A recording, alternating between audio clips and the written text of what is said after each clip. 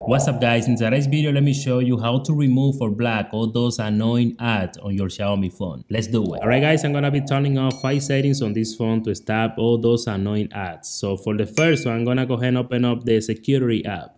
Let me tap on setting right at the top right corner. Scroll the way down and you will see this setting, receive recommendations. So that's the first setting that we have to turn off to get rid of this mess. Secondly, let's go ahead and open up the file manager app. Let's go ahead and tap on those three lines right here and then let's go ahead and click on settings. Let's go ahead and tap on about and then you will see this setting, recommendations. So let's go ahead and turn it off. For the third setting, just locate all those folders that have different apps inside. For example, this one, game. So tap on the name, then you will see this setting, today's recommendation, just turn it off. Go back and keep doing that for those folders that have different apps inside. For example, tools, Click on the name and then you will see this setting. Today's recommendation. Just turn those settings off. For the next one, go to settings. Then let's go ahead and search for ad.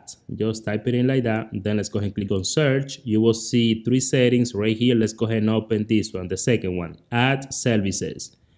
Then you will see this setting, personalized ad recommendations. Just turn it off. For the fifth setting, check this out. If you go all the way to the left on your phone, you will see this menu, a bunch of ads right here. So to turn off this section, what you're gonna do, you're gonna go ahead and click on your profile right at the top right corner. Then let's go ahead and click on settings. Tap on general then let's go ahead and turn off Discover. Just turn it off. If you go all the way to the left, you will see that this menu is no longer available. If you want to turn it back on, just click on Turn on Discover. And you will have all the ads that you have before. But if you really don't use this on your phone, I recommend to turn it off because that use a lot of battery, internet, memory RAM, and also a bunch of ads. And wait, wait, wait, if you use the Chrome browser on your phone, you also have to change this setting. Let's go ahead and open up the browser.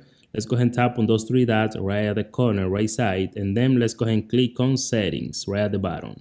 Scroll the way down until you see site settings. Let's go ahead and tap on that setting. Scroll the way down until you see this setting, pop-ups and direct. Let's go ahead and tap on that setting and right here turn off this setting. So you can see when the setting is on, your browser will show you pop-ups and directs, okay? So you don't want that. Just make sure it's off and that will block sites from showing pop-ups and direct recommendation. If you enjoyed this video, please drop a like, subscribe to the channel. I will see you in my next video. Bye.